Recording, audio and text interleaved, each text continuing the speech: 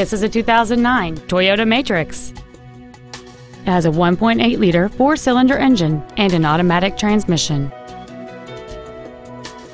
Its top features include cruise control, a rear window defroster, keyless entry, four well-positioned speakers, a security system, privacy glass, a low tire pressure indicator, an anti-lock braking system, an external temperature gauge, and this vehicle has fewer than 24,000 miles on the odometer. We invite you to contact us today to learn more about this vehicle. Capital Ford is dedicated to doing everything possible to ensure that the experience you have selecting your vehicle is as pleasant as possible. We are located at 4900 Capital Boulevard in Raleigh.